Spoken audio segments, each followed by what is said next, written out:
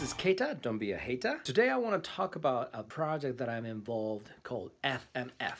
Sticks and stones, they may break these bones, but then I'll be ready.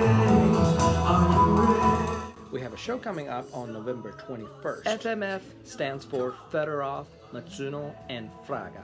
Anthony Fedorov on vocal, Keita Matsuno on guitar, and Felipe Fraga on drums.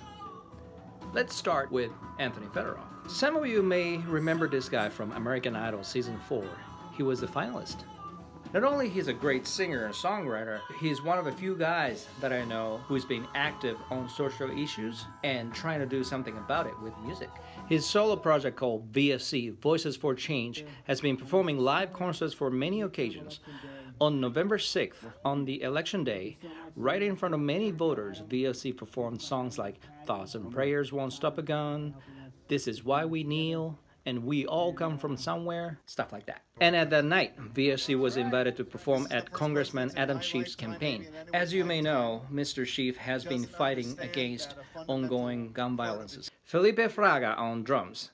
This Brazilian born percussionist has a strong foundation in Brazilian rhythm, and from there, he is expanding his horizon to many different kind of music. He performed with established artists such as Ricky Martin, Aloe Blacc, and he has his own Brazilian jazz quartet called Farofa.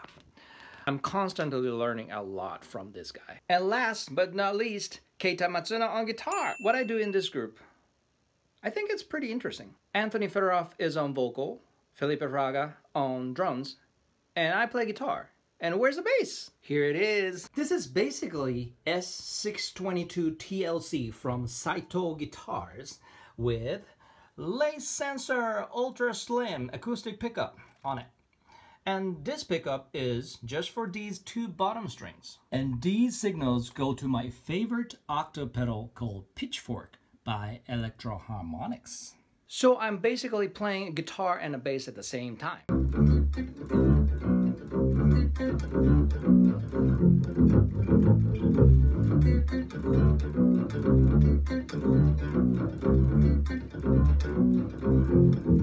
There are many octave pedals out there, but the reason why I chose this pedal is the tone. When many octave pedals just sound like guitar electronically pitched down an octave, this pedal gives a little bit of a character to it, kind of like a P bass.